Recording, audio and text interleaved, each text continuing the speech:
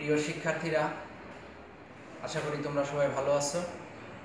আমরাও আল্লাহর অশেষ রহমতে ভালো আছি। আজকে আমরা অ্যাসাইনমেন্টের ক্লাস অনুসারে, দ্বিতীয় অ্যাসাইনমেন্টের উপরে নবম শ্রেণির ষষ্ঠ অধ্যায়, যেটা জাবেদা, ষষ্ঠ অধ্যায়ের উপরে আমরা আজকে একটা ক্লাস নিতে চাচ্ছি তো আশা করি শিক্ষার্থীরা তোমরা সবাই মনোযোগ সহকারে ক্লাসটি শুনবে। এবং বোঝার চেষ্টা করবে। আর যদি তোমাদের কারও বোঝার সমস্যা হয়, তাহলে আমাদেরকে কমেন্ট বক্সে আমাদেরকে কমেন্ট করবে, আমরা তার উত্তর দেওয়ার চেষ্টা করব। তো আসো, আজকে আমরা জাবেদার উপরে, ষষ্ঠ অধ্যায়ে, নবম শ্রেণির জন্য ষষ্ঠ অধ্যায়ের জাবেদার উপরে আমরা আজকে আলোচনা করব। আজকে আমাদের আলোচনার বিষয় হচ্ছে জাবেদার ধারণা এবং জাবেদা কত প্রকার, সেই বিষয়গুলি নিয়ে আজকে আমরা আলোচনা করব। তো আমার আলোচনার পরে তোমরা তোমাদের পাঠ্য বই থেকে বিষয়গুলি আরও বিস্তারিতভাবেও জানতে পারবে। তারপরও আলোচনাটা ভালোভাবে মনোযোগ সহকারে শুনলে আশা করি আর পাঠ্য বইয়ের প্রয়োজন হবে না। তো আমরা শুরু করি। জাবেদার ধারণা। জাবেদাটা কি? আমাদের হিসাব বিজ্ঞানের মধ্যে জাবেদা হচ্ছে এরকম একটা বিষয় যেটা কোনো লেনদেন যখন সংগঠিত হয়, সংগঠিত হওয়ার পরে সেই লেনদেনটা প্রাথমিকভাবে যে বইতে লিপিবদ্ধ করা হয়, যে বইতে সংরক্ষণ করা হয়, তার নাম হচ্ছে জাবেদা। এই কারণে এই জাবেদাটাকে আমরা প্রাথমিক বই হিসাবে চিহ্নিত করে করা হয়। জাবেদাকে আমরা প্রাথমিক বই বলে আমরা জানি যে আমাদের হিসাবের প্রাথমিক বই কোনটি? যদি আমাদের জ্ঞানমূলক কোশ্চেন হোক, নৈবত্তিক কোশ্চেন হোক, সেখানে আমাদের এই প্রশ্ন হতে পারে যে হিসাব বিজ্ঞানের প্রাথমিক বই বলা হয় কোনটিকে সেক্ষেত্রে আমরা উত্তর দিতে পারি যে জাবেদাকে হিসাব বিজ্ঞানের হিসাবের প্রাথমিক বই বলা হয়। তো জাবেদার কাজটা কি? জাবেদা কেন আমরা করব? সেই সম্বন্ধে আমরা একটু আলোচনা করে নিচ্ছি আগে। জাবেদা হচ্ছে যে, কোনো লেনদেন যখনই সংগঠিত, আমরা তো লেনদেনের সঙ্গে আমরা আগেই জানি যে, দুইটা পক্ষ থাকবে, আর্থিক মূল্যে পরিমাপযোগ্য হতে হবে টাকা পয়সার লেনদেনের ব্যাপার স্যাপার এখানে থাকতে হবে, সেগুলিকে আমরা লেনদেন বলি। তো এরকম কোনো ঘটনা যদি ঘটে, তাহলে সেটিকে আমরা প্রাথমিকভাবে যে বইতে লিপিবদ্ধ করি, তাই হচ্ছে জাবেদা। জাবেদার মধ্যে আমরা হিসাবগুলিকে লিপিবদ্ধ করার কারণে আমাদের হিসাবের মধ্যে কোনো ভুল ত্রুটি বা কোনো বাদ পড়ার কোনো সম্ভাবনা থাকে না। এই জাবেদা বইটা বেসিক্যালি হিসাব রক্ষণের ক্ষেত্রে সংরক্ষণটা খুব জরুরি না হলেও হিসাব বিজ্ঞানের পরিষ্কার পরিচ্ছন্নতা, নির্ভুলতা এবং সঠিক হিসাবের জন্য এই জাবেদাকে সংরক্ষণ করতে হয়। তাই আমরা জাবেদা বইকে আমরা ছোট করে দেখার কোনো সুযোগ নাই। হিসাবের সচ্ছলতার কারণে জাবেদা বই মেনটেন করা সংরক্ষণ করা আমাদের জন্য খুবই জরুরি। তো আমরা জাবেদা সম্বন্ধে, জাবেদা কি, সেটা এটা কেন করব সেই বিষয়ে আমরা যে আলোচনাটুকু করলাম, আশা করি তোমরা সবাই বুঝতে পেরেছ। তো আমরা এখন এখান থেকে যে বিষয়টা আলোচনা করব তা হলো জাবেদার প্রকারভেদ। জাবেদা কয় প্রকার? জাবেদা কীভাবে করতে হয়? কি কি জাবেদা আমাদেরকে শিখতে হবে?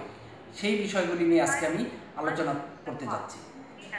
তো আমরা দেখি যে জাবেদাকে প্রথম প্রাথমিকভাবে দুইটা ভাগে ভাগ করা হয়েছে। তোমরা একটু সবাই লক্ষ্য করো, বোর্ডের মধ্যে আমি লিখে দিচ্ছি, জাবেদাকে দুইটি ভাগে ভাগ করছি। কি? প্রথমত হলো, এক নম্বরে আমরা বলতে পারি এক বা ক বা এটাকে এটা ক হবে, ওইটা ক হবে। ক নম্বরে বিশেষ জাবেদা, ক নম্বরে হলো প্রকৃত জাবেদা। ক নম্বরে বিশেষ জাবেদা, খ নম্বরে হলো প্রকৃত জাবেদা। এই দুই ভাগে জাবেদাকে মূলত ভাগ করা হয়েছে। এই দুইটা ভাগকে আবার কতগুলি ভাগে ভাগ করা হয়েছে? যেমন আমরা দেখি, বিশেষ জাবেদা যেটা, এই বিশেষ জাবেদাটাকে আবার ছয়টি ভাগে ভাগ করা হয়েছে। ছয়টি ভাগে। ছয়টি ভাগের মধ্যে এখানে প্রথমে যেটা দেওয়া হয়েছে, বিশেষ জাবেদা, একটু বলে নিচ্ছি আমি, বিশেষ জাবেদা এবং প্রকৃত জাবেদা। এই দুইটা বিষয় কে আমরা মনে রাখব। এর মধ্যে বিশেষ জাবেদাগুলি আমরা সাধারণত আমাদেরকে বেশিরভাগ করতে হয় আমাদেরকে বিশেষ জাবেদাগুলি। সেটা হলো ক্রয় জাবেদা, বিক্রয় জাবেদা, ক্রয় ফেরত জাবেদা, বিক্রয় ফেরত জাবেদা, নগদ প্রাপ্তি জাবেদা, নগদ প্রদান জাবেদা। তো এই যে বিষয়গুলি আছে এখানে ক্রয় জাবেদা বলতে এখানে কি বোঝানো হয়?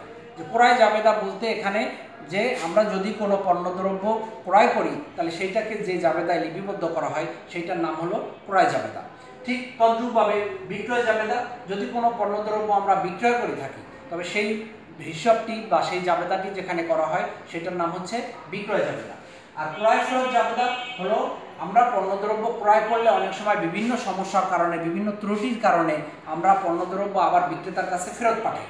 সেই ক্ষেত্রে আমাদেরকে আর একটা জাবেদা করে সেই পণ্যটাকে ফেরত পাঠাইতে হয়, যেটা আমাদের হিসাবের সচ্ছলতা, হিসাবের মধ্যে যাতে ভুল না থাকে, যার কারণে আমরা এই ক্রয় জাবেদা করে থাকি।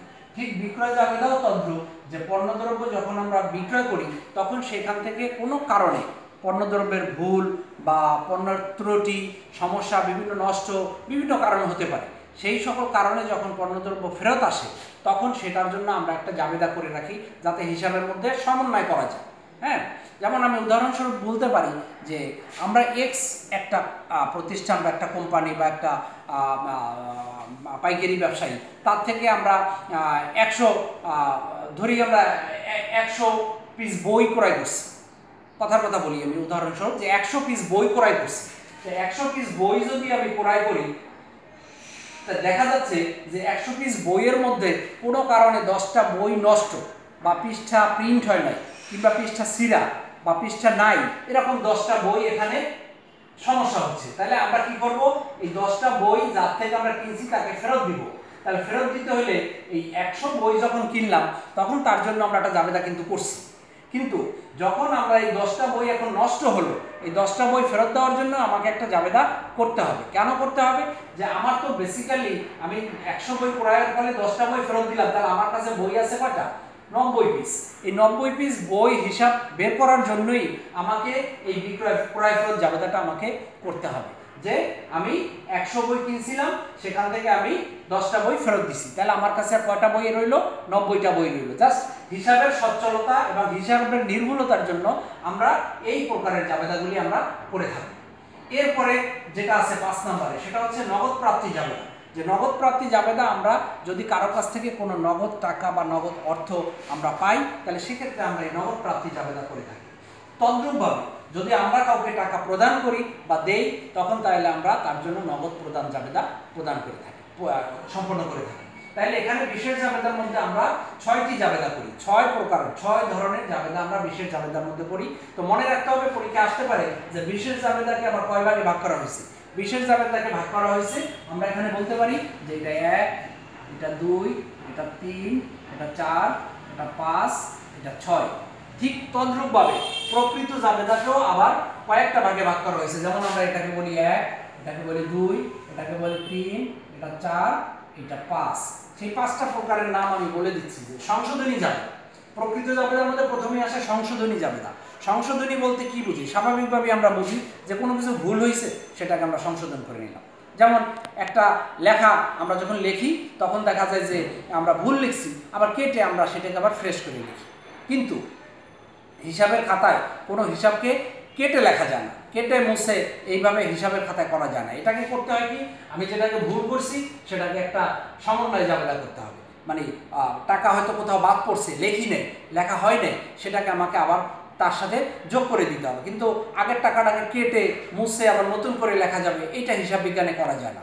যেটা আমার হয়ে গেছে, সেটা থাকবে। সেটার সাথে আমার যদি আরও কোনোটা বাদ পড়ে কিংবা কোনোটা বেশি লিখে থাকি, তাহলে সেটাকে আমার কি করতে হবে? সংশোধন করতে হবে। ঠিক তদ্রূপভাবে আবার সমন্বয় যাবে। সমন্বয় যাবে দা এখানেও যদি কোনো টাকা পয়সা যদি বাদ থাকে, কম থাকে, বেশি হয়, তাহলে সেটাকে আগের পূর্বের যে লিখিত যে অ্যামাউন্ট আছে, তার সাথে এটাকে সমন্বয় করে নিতে হবে। সমাপনী জাবেদা এটা হলো আমাদের প্রকৃত জাবেদার একটা প্রকারের প্রারম্ভিক জাবেদা এবং অন্যান্য জাবেদা। এখানে সব মিলে এখানে পাঁচ প্রকারের জাবেদা আমরা করে থাকি প্রকৃত জাবেদার মধ্যে। তো এই নামগুলি তোমরা সবাই মনে রাখতে হবে যে পরীক্ষার সময় আমাদেরকে আসতে পারে যে প্রকৃত জাবেদাকে কয় ভাগে ভাগ করা হয়েছে? আমরা বলব প্রকৃত জাবেদাকে পাঁচটি ভাগে ভাগ করা হয়েছে। পাঁচটি ভাগের নাম কি? সমন্বয় জাবেদা, সংশোধনী জাবেদা, সমন্বয় জাবেদা, সমাপনী জাবেদা, প্রারম্ভিক জাবেদা, অনন্য জাবেদা। আমরা তাইলে আজকে এই আলোচনার মধ্যে জাবেদার একটা ধারণা আমরা পাইলাম যে জাবেদা কি, কেন করি, কি জন্য করা হয় এবং জাবেদাকে কয় ভাগে ভাগ করা হয়েছে? জাবেদাকে দুই ভাগে ভাগ করা হয়েছে, বিশেষ জাবেদা, প্রকৃত জাবেদা এবং বিশেষ জাবেদাকে আবার কয়টা ভাগে ভাগ করা হয়েছে সেটাও আমরা বোর্ডে দেখতে পাচ্ছি। আশা করি তোমরাও দেখতে পাচ্ছ। আর প্রকৃত জাবেদাকে কয়টা ভাগে ভাগ করা হয়েছে সেটা আমি বোর্ডে লিখে দিছি।